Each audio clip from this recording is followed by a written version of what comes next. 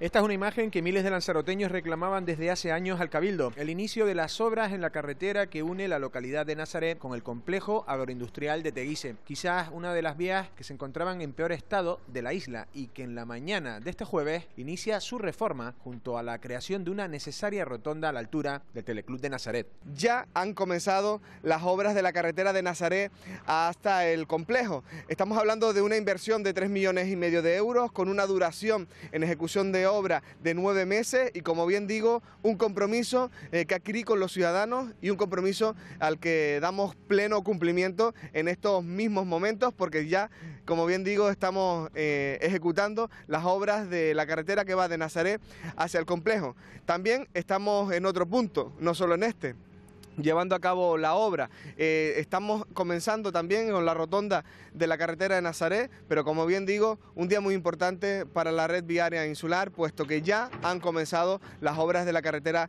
de Nazaret al complejo. Un proyecto redactado por el Cabildo, financiado por el Cabildo y como bien digo, un proyecto que ya hacía falta en la isla de Lanzarote porque esta carretera se encontraba absolutamente abandonada desde hace muchísimos años.